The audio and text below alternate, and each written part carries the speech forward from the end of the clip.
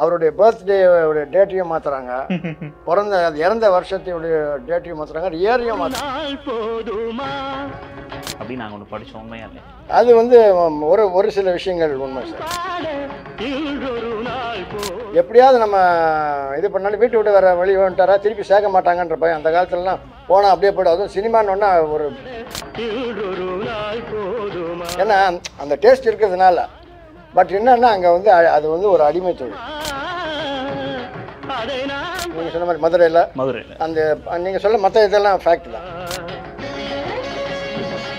ஆரம்பத்தில் சில சில துண்டுரோல்லாம் வந்தார். ஆனால் இதில் எம்ஜிஆர் சார் கூட சின்ன ரோல் தான் இருக்கு. சாருக்கு பெரிய ரோல் ஆமாம் அவருக்கு பெரிய எலிசா தங்கன் அந்த மாதிரி இது பண்ணா அப்புறம் நடுவில் அவருக்கு வந்து மனசு வந்து உடஞ்சிட்டாரு.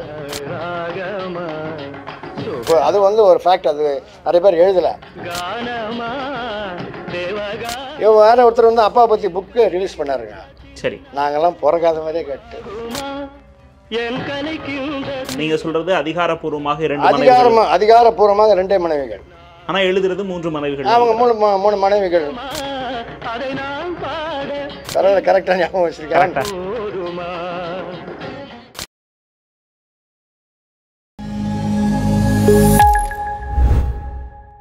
நகைச்சுவை குணச்சித்திரம் ஹீரோ கதாநாயகன் என மூம் பரிமாணத்தையும் ஒரு சேர கலக்கிய ஒரு நடிகர்.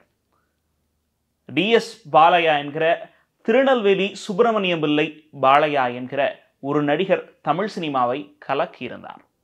அவர் பற்றிய பல்வேறு தகவல்களை நாம் இப்போது ஒரு முக்கியமான நபரிடம் கேட்டு தெரிந்து கொள்ளப் போகிறோம். அவருடைய மகனான ஜெய் பாலையா நம்மோடு இருக்கிறார். அவரிடம் பேசுவதற்கு நிறைய இருக்கின்றன. நாம் கேட்பதற்கும் நிறைய இருக்கின்றன. வணக்கம். வணக்கம் சார். அப்பா அப்படிங்கும்போது டிஎஸ் பாலையா சார். கண்டிப்பாக தமிழ் சினிமா மறக்க முடியாத ஒரு ஆளுமை அப்படின்னு சொல்லலாம். அதில் வந்து அவருடைய ஜேர்னியை பற்றி நாங்கள் வந்து கேள்விப்பட்ட விஷயங்கள்லாம் உண்மையானு உங்ககிட்டயே கேட்டுடலாம்ன்றது தான் இந்த நேர்காலனுடைய நோக்கம். ஏன்னா சில இடத்துல வந்து அப்பா பற்றி இன்ஃபர்மேஷன்ஸ் வந்து எல்லா புக்கையும் படிக்கிறாங்க. அது ஒவ்வொரு புக்லேயும் ஒவ்வொரு மாதிரி எழுதியிருக்கிறாங்க. அதனால அதனால் ஒவ்வொரு இன்டர்வியூலையும் வேறு வேறு மாதிரி சொல்லிட்டு இருக்கிறாங்க. கரெக்ட் ஸோ நாங்கள் வாரிசு இருக்கிறதுனால எங்களுக்கு எங்களுக்கு தெரியும் கரெக்டாக கரெக்ட் இப்போ இப்படி தான் வந்தார் இப்படி இப்படி இது பண்ணார். சில ஏன்னா நான் எதுக்கு சொல்கிறேன்னா அவருடைய பர்த்டே டேட்டையும் மாற்றுறாங்க பிறந்த அது இறந்த வருஷத்தையுடைய டேட்டையும் மாற்றுறாங்க இயரையும் மாற்றுறாங்க நீங்கள் சொல்லுங்க பிறந்த தேதி என்ன? அவர் ஆக்சுவலாக பிறந்தது வந்து twenty first August nineteen twelve okay okay nineteen twelve nineteen டுவெல்ல பிறந்து வந்து திருநெல்வேலியில் ஆக்சுவலாக அப்போ வந்து சுண்டன்கோட்டைன்னு ஒரு இடம் இருக்குது அது தூத்துக்குடி டிஸ்ட்ரிக்ட்ல இருக்கு. அது இப்போ தூத்துக்குடி முதல்ல திருநெல்வேலியில் இருந்தது. அதனால தான் நீங்கள் சொன்னீங்க பார்த்தீங்களா திருநெல்வேலி சுப்பிரமணிய பாளையா அதனால தான் எங்களுக்கு பூர்வீகம் அப்பாவுக்கு வந்து பூர்வீகம் திருநெல்வேலி. ஆமாம் ஸோ அதில் அந்த ஒரு இதில் வந்து அவர் அந்த சின்ன வயசுலேருந்து அவர் கொஞ்சம் நாடக இதில் ரொம்ப ஜா இது படிப்பு சரியா இப்போ பார்க்கும்போது சார் சாருடைய ஜேர்னி அப்படின்னு பார்க்கும்போது அதை பற்றி நாங்கள் அவருடைய இனிஷியல் ஸ்டேஜில் நாங்கள் கேள்விப்பட்டது என்னன்னா அவர் ஒரு சர்க்கஸ் பார்க்குறாரு. அந்த சர்க்கஸில் தானும் இணையணும்னு ஆசைப்படுறாரு. ஆனால் அந்த சர்க்கஸில் இணைய வாய்ப்பு மறுக்கப்படுது. இதனால் தன்னுடைய நண்பரோடு மதுரை வருகிறார் பாலையா. அப்போது வந்து இன்னொரு சர்க்கஸ் ட்ரூப்பில் சேரலான்னு பார்த்தா அங்கே அங்கேருந்து மதுரையிலேருந்து மானாமதுரைக்கு ஒரு பயணம். இரவு பிளாட்ஃபார்மில் படுத்திருக்காங்க. காலையில் எந்திரிச்சு பார்த்தா பணத்தை தன்னுடைய நண்பர் அடித்து கொண்டு போகிறார். அந்த ஏமாற்றத்தோடு தான் அவருடைய ஜேர்னி தொடங்குது அப்படின்னு நாங்கள் ஒன்று படித்தோம் உண்மையா இல்லையா? அது வந்து ஒரு ஒரு சில விஷயங்கள் உண்மை சார்.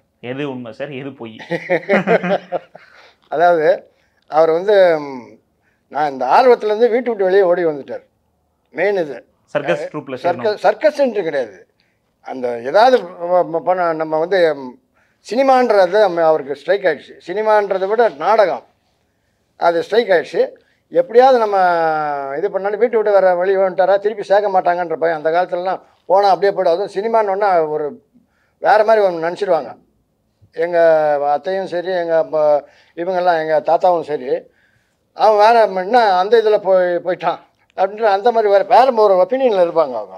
ஸோ வந்து எப்படி வீட்டுக்கு போகிறதுன்னு சொல்லிட்டு ரொம்ப கஷ்டப்பட்டு வேறு அந்த ஹோட்டல்லாம் போய் சேர்ந்து வேலை செஞ்சுருக்காரு. இப்போ நீங்கள் சொன்னீங்க பார்த்தீங்களா சர்க்கஸ்ன்றது அவங்க மூலியமாக சில ஓகே. இது லிங்க் கிடச்சிது.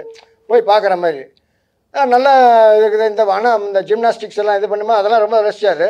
நம்மளும் இந்த மாதிரி பண்ணானா ஆமாம் ஆர்வம் ஜாஸ்தி அவருக்கு. அங்கே போன அப்புறம் கூட வந்து சில விஷயங்கள்லாம் அங்கே கற்றுக்கிட்டாரு பட் வந்து அதுலேயும் வந்து க்ளவுனாக இருந்து சில சில விஷயங்கள்லாம் கே கற்றுக்கிட்டாரு சில காமெடி இது இதெல்லாம். ஏன்னா அந்த டேஸ்ட் இருக்கிறதுனால. பட் என்னன்னா அங்கே வந்து அது வந்து ஒரு அடிமை தொழில். பாஸ் என்ன சொல்கிறாரோ அதான் செய்யணும். இந்த டைம் இத்தனை மணிக்கு தான் இருக்கணும் இத்தனை மணிக்கு ப்ராக்டிஸ் பண்ணணும். இப்படியெல்லாம் இருக்குது பார்த்தீங்களா. இவருக்கு வந்து அது ரொம்ப ஸ்ட்ரெயினாக தெரிஞ்சது. சரின்ட்டு அப்புறம் அங்கேருந்து வந்து வெளியே வந்துட்டு ஒரு புதிய நாடக சபா இவர் தொடங்குறது தொடங்குவதாக நாங்க ஆமாம். ஆமாங்க நாடக சுகம் இல்லை அது அப்புறமா தான் தொடங்கணும் இது பண்ணுறது இந்த ஒரிஜினல் பாய்ஸ் கம்பெனியில் வந்து ரொம்ப கஷ்டப்பட்டு அதில் வந்து வேஷம் கட்டி நாடக சபா. நாடக இதில் ஒரிஜினல் பாய்ஸ் கம்பெனியில் நீங்கள் சொன்ன மாதிரி மதுரையில் மதுரையில. அந்த நீங்கள் சொல்ல மற்ற இதெல்லாம் ஃபேக்ட் தான். அப்புறம் வந்து அங்கேருந்து என்ன ப பண்ணார் எங்கேயோ ட்ரை பண்ணி அவருக்கு வந்து இது பண்ணி சரியான இது ஸ்கோப் கிடைக்கல. பேசாமல் சாமியாராக போயிடலாம். இது எது எதுவுமே பண்ண முடியல நம்ம. அப்படின்னு சொல்லிட்டு அந்த மாதிரி அது ஒரு பக்கம் ஸ்ட்ரைக் ஆகிட்டு இருந்தது. அப்புறம் வந்து பெருமாள் இவர் நேஷ்னல் பிக்சர்ஸ் பெருமாள் முதலியார் இருக்கு பார்த்தீங்களா அவர் மூலிமா வந்து சில விஷயங்களில் கேள்விப்பட்டு அப்புறம் பக்ஷி ராஜா ஸ்டுடியோஸ் அது ஒரு நாயுடுன்ட்டு இருக்கார். அவர் இது பண்ணி ஆரம்பத்தில் சில சில துண்டுரோல்லாம் வந்தார். ஆனால் அவருக்கு அது வந்து அது அவருக்கு ஒரு சரியாக சாட்டிஸ்ஃபை ஆனால் நாடகத்தில் தான் நீ நாடகக்காரன் தான் நாடகத்தை பண்ணு அப்படின்னு சொல்லிட்டு இது பண்ணி விட்டாங்க. அப்புறம் சதி லீலாவதி வந்தது பார்த்தீங்களா ஆமா. அதில் பல ஆர்டிஸ்ட்டுங்களுக்கு ஃபஸ்ட்டு படம் அது. ஆமா. எம்ஜிஆர் சாருடைய ஃபர்ஸ்ட் படமும் கூட. அது ஆமாங்க. அது வந்து தலைவர் புரட்சி தலைவர் வந்து அவரும் இதுதான். அப்புறம் கே தங்கவேலு மாதிரி நிறைய பேர். ஆனா இதுல எம்ஜிஆர் சார் கூட சின்ன ரோல் தான் இருக்கும். சாருக்கு பெரிய ரோல் ஆமாம் அவருக்கு பெரிய டங்கன் அப்பாக்கு. எலிசா டங்கன் பெரிய இது. ஃபாரின் டைரக்டர் அவர் தான் இது பண்ணார். இவருக்கு என்னன்னா சரி நம்மளுக்கு வந்து நம்ம ஃப்ரீயாக விட மாட்டேங்கிறாங்களே. அந்த மாதிரி இது பண்ண அப்புறம் நடுவில் அவருக்கு வந்து மனசு வந்து உடஞ்சிட்டார் அவர். நேராக திருச்செந்தூர் முருகன் கோயிலில் போய் படுத்துட்டார். கரெக்ட் திருச்செந்தூர் முருகன் கோயிலில் போய் படுத்துட்டார். அப்போ மாடர்ன் தியேட்டர்ஸ் அதெல்லாம் அதான் இப்போ நீங்கள் கேள்விப்பட்டதை சொல்கிறீங்க மாடர்ன் தியேட்டர்ஸ் நிறுவனர் தான் அவரை ஆமாம் அகஸ்மாத்தா இவர் என்ன நம்ம பாலையா மாதிரி இருக்கிற இவர் ஆகச்சிறந்த நடிகர் இவர் ஏன் இப்படி இருக்கணும்? இவர் திருப்பி சினிமாவுக்கு தேவன் கொண்டு வரப்பட்டார் அப்படின்னு நாங்க படிச்சிருக்கோம். அது ஆமாம்? அது இல்லை அது சில விஷயங்கள்லாம் ஃபேக்டாக தான் போட்டிருக்காங்க. என்னென்னா அவருக்கு வந்து நம்ம எப்படியாவது ஃபீல்டில் வந்துடணும் அப்படின்னு அந்த ஒரு இதில் வந்து அப்புறம் விர விரக்தி ஆகிட்ட அப்புறம் மாடர்ன் தேட்டர் சுந்தரம் சார் வந்து இவா என் கூட வா அப்படின்னு சொல்லிட்டு சொல்லி இது பண்ணி சொன்னோன்னே இவர் அப்பவும் ஆறு மனசோட தான் இருந்தார். ஆனால் அவர் நம்பிக்கை கொடுத்து ஆனால் வேண்டிக்கிட்டார் அந்த கோ- அது வந்து ஒரு ஃபேக்ட் அது நிறைய பேர் எழுதலை. முருகன்கிட்ட திருச்செந்தூர் முருகன்கிட்ட நான் வந்து உன்னை கும்பிட்டுட்டு வந்திருக்கிறேன். திருப்பி எனக்கு ஒரு லைஃப் கிடச்சிதுன்னா எங்கள் அப்பா தாத்தா எல்லாம் விஷயம் வேறு. என்னுடைய இதுலேருந்து நீ தான் எனக்கு குலதெய்வம். ஓ. அப்படின்னு ஒரு இதை வேண்டிக்கிட்டு வ- ம- வண்டி ஏறினார் இவர் கூட சுந்தரம் சார் கூட. Modern theatres modern theatre Sundaram.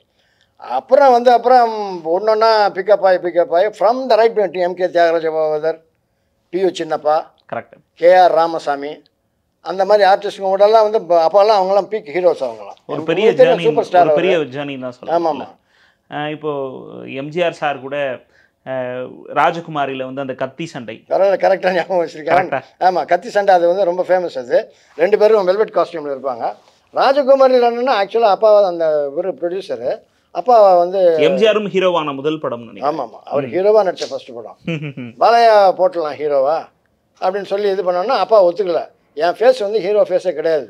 அப்படின்னு ஆ, அப்படியே சொல்லிட்டாரு. என் ஃபே ஃபேஸ் வந்து ஹீரோ நான் வந்து ஹீரோ பண்ணுறேன்னா அது வேறு டைப் வில்லனிக் ஹீரோ அந்த மாதிரிலாம் வருது பார்த்தீங்களா. அந்த மாதிரி கேரக்டர் பண்ணுறேன் ஆனால் என்னை வந்து என்னை விட வந்து இன்னொருத்தர் பாடியும் ஃபிசிக்ஸும் நல்லா இது பண்ணியிருக்காரு.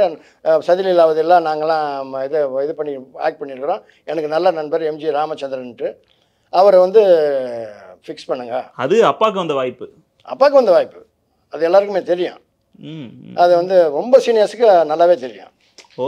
அது வந்து அப்பா மாதிரி இளையர்கள் இளைய வயதினருக்குலாம் இல்லை நான் சொல்கிறதெல்லாம் நீங்கள் தெரிஞ்சுக்குவீங்க. கண்டிப்பா கண்டிப்பா. நாளைக்கு நீங்கள் யார்கிட்ட சொல்லணும்னா கூட அவர் மகனை பார்த்தோம் பேசணும் எனக்கு. என்னென்னா எங்களை ஆரம்பத்திலே பார்த்துருந்தாங்கன்னா இன்னும் வேற வேற நிறைய நிறைய இது டீட்டெயில்ஸ் சொல்லியிருக்கலாம். கரெக்ட் இவன் வேற ஒருத்தர் வந்து அப்பா பற்றி புக்கு ரிலீஸ் பண்ணாருங்க. சரி. நாங்கெல்லாம் பிறக்காத மாதிரியே கேட்டு. சொல்கிறது. மறைக்கப்பட்ட உண்மைகள் மாதிரி. ஆமாம் ஆமாம் நான் அந்த புக்கு அந்த ஃபங்க்ஷனுக்கு போய் புக்கு பார்க்கும்போது நானே இன்னும் ஒரு இன்னொரு மூணு பிரதர்ஸு எல்லாம் யாருமே பிறக்காத மாதிரியே காட்டாரு. அது எதுக்குங்க? நாங்கள் தான் இருக்கிறோமே சார் எங்களை கூப்பிட்டு கூப்பிட்டா நாங்கள் சொல்ல மாட்டோமா? அது எப்படியோ மிஸ் ஆயிடுச்சு அது மிஸ் ஆயிடுச்சு. இப்போ வந்து புக்கில் வந்ததுன்னா பல பேர் படிச்சுட்டு அதான் ஒன்று ஃபேக்ட்னு நினச்சிக்கிட்டாங்க. ஆனா எது உண்மைன்றது உங்களுக்கு தான் தெரியும். நான் வந்து அந்த வாரிசாக இருக்கிற உங்களுக்கு தான் ஆமாமாங்க. தெரியும். ம். அவர் ரெண்டே மகன்கள் மூணு மகள்கள். வேற யாருமே கிடையாதுன்னு சொல்லி ஃபேமிலி டீட்டெயில்ஸை மாத்திரம் இஷ்டத்துக்கு எழுதிட்டாங்க. ஆனால் நாங்க படிக்கும் போது சார் அது. மட்டும் இல்லாம நாங்க இணையதளத்துல படிக்கிறோம். எங்களுக்கு தெரிஞ்ச புக்கெல்லாம் படிக்கும் போது அஹ், சாருக்கு மூன்று திருமணம். ஏழு பிள்ளைகள் போன்ற விஷயங்கள்லாம் நாங்க படிச்சது படிச்சதா பார்த்திருக்கோம். ஏழுன்றது அதான் நீங்கள் சொல்ல ஃபேக்ட்ரி தான் அது அடுத்தது நான் தான் சொல்ல வரேன். ஃபர்ஸ்ட் ஒய்ஃபோடுக்கு ஏழு பசங்க. ஓ. செகண்ட் ஒய்ஃப் அம்மாவோட தங்கச்சியே செகண்ட் ஒய்ஃப் ஓகே அங்கே Padmavati Leelavati? Yes you correct அதான் பத்மாவதின்றது எங்கள் மதரை அம்மாவுடைய அடுத்த சிஸ்டர் ஒரே சிஸ்டர் தான் அம்மாவுக்கு.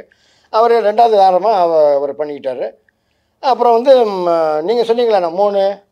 ஆமா. அஹ் நான் கொஞ்சம் வெளிப்படையாக பேசுகிறேன் தப்பாக நினைக்காதீங்க. பரவாயில்ல சில பேர் மூணு இல்லை வேறு இன்னும் இன்னும் ரெண்டு மூணு இடம் வச்சுருக்காங்கன்னு சில பேர் ஒரு மாதிரி கிண்டலாக கேட்பாங்க எங்களை.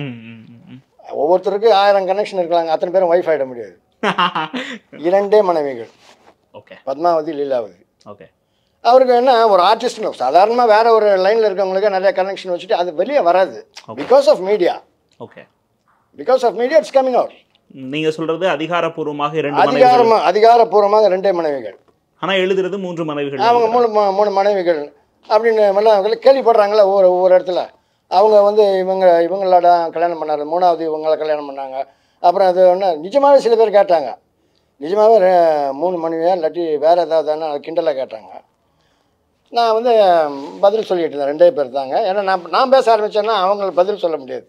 Correct white to pull on the time என்ன சொல்கிறீங்க அதனால் ரெண்டு மனைவிகள் மொத்தம் நாங்கள் பதிமூணு பேர். இங்கே வந்து நாங்கள் வந்து ஏழு பேர் நான் வந்து ஏழாவது சன் லாஸ்ட் சன் ஃபஸ்ட்டு ஒய்ஃபாக தான் எங்கள் அம்மா Padmavati. Okay junior Balayya sir junior பாலம் எனக்கு நேரு மூத்தவர். ஓகே ஓகே இப்போ சமீபத்தில் தான் ஆமாம் அண்ணா. ஆமா, டிசம்பர்லாம் இது நவம்பர் செகண்ட் தவறுனர். ஆமா. ம், சமீபத்துல தவிர சமீபத்தில் ம் எனக்கும் அவருக்கும் one one and half years தான் டிஃப்ரென்ஸ் ஓகே ஓகே இதுதான் சார் இந்த விஷயம் பேசும்போது உங்கள் டிஎஸ் பாலையா சாருடைய திருமண வாழ்க்கை குடும்ப வாழ்க்கை அப்படி பேசும்போது இங்கே எழுதும்போது ஒரு கட்டத்தில் சினிமா வாழ்க்கையும் திருமண வாழ்க்கையும் வெறுத்து தான் அவர் முருகன் கோவிலுக்கு போய் உட்கார்ந்தார் அப்படின்னு அதெல்லாம் அது ரொம்ப உண்மையா? ரொம்ப இல்லை கிடையாதுங்க. அது ரொம்ப பிகினிங்கில் தான். அப்ப நடந்தது கிடையாது. அப்போ நடந்தது கிடையாது. திருமண வாழ்க்கை சினிமா வாழ்க்கையெல்லாம் வெறுத்துட்டுலாம் அவர் போய் அங்க போய் உட்காரல. ஆனால் அவர்கிட்ட என்னென்னா கொஞ்சம் வந்து இப்போ கொஞ்சம் முன்கோபம் அதிகம். உணர்ச்சி வசப்பட்டுருவார். உணர்ச்சி வசப்பட்டுருவார். அது மாத்திரம் இல்லாமல் அவருக்குன்னு சில திருப்தியாக இல்லாத ஒரு இது பண்ணணும்னா அந்த அந்த பக்கமே போக மாட்டார். ஆனால் அவருடைய டேலண்ட்ஸ் என்னமோ தெரியல. அவர் வேண்டிட்டு வந்தார் பார்த்தீங்களா திருச்செந்தூர் முருகன். அவர் வந்து அவர் எங்கேயோ டாப்பில் கொண்டு போய் விட்டுருச்சு.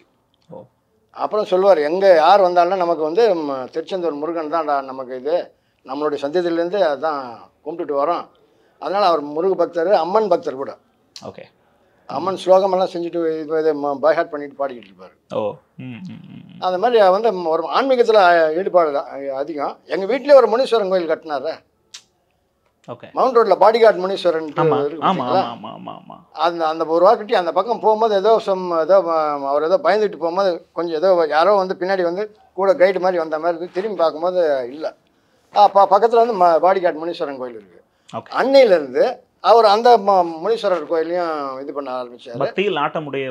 இருந்தார். எங்கள் வீட்டில் என்ன பண்ணிட்டாருன்னா பின்னால் வந்து ஒரு கோயிலே கட்டி அதுக்கு ஒரு குருக்களை வச்சு முனீஸ்வரனுக்கு என்னென்ன ச- சம்பிரதாயம் பண்ணுறாங்களோ அதில் சுருட்டுக்கிட்டலாம் வைப்பாங்க பார்த்தீங்களா அதெல்லாம் வச்சு இது பண்ணி நாங்களும் ரொம்ப முனீஸ்வரனை கும்பிட்டுட்டு இருக்கோம். இப்போ கூட அந்த சைடு சென்ட்ரல் ஸ்டேஷன் பக்கம் போகும்போதும் சரி இது பண்ண பாடிகார்டு முனீஸ்வரனை ஏதாவது ஒரு பௌர்ணமி அன்னைக்கு போய் நாங்கள் கும்பிட்டுட்டு வருவோம். மெயினாக நான் போவேன். நான். கொஞ்சம் இதில் ரொம்ப இன்வால்மெண்ட் ஜாஸ்தி. ஓகே அதான் அப்பாவுடைய சில விஷயங்கள் வந்து ஆரம்பத்தில் எங்களை மதர் எங்களுக்கு சொன்னதுனால. ஓகே. அதனால் வந்து நான் நானும் ஆர்வமாக போயிட்டு வருவேன் டிஎஸ் பாலையா குறித்து அவருடைய மகன் பல்வேறு சுவாரஸ்யமான தகவல்களை நமக்கு தந்து கொண்டிருக்கிறார். இன்னும் பல சுவாரஸ்யமான விறுவிறுப்பான தகவல்கள் அடுத்த பாகத்தில். ஒரு நாள் போதுமா? இன்றொரு நாள் போதுமா? நான் பாட இன்றொரு நாள் போதுமா? நாதமா கீதமா அதை நான் பாட இன்றொரு நாள் போதுமா? புது நாதமா சங்கீதமா அதை நான் பாட இன்றொரு நாள் போதுமா?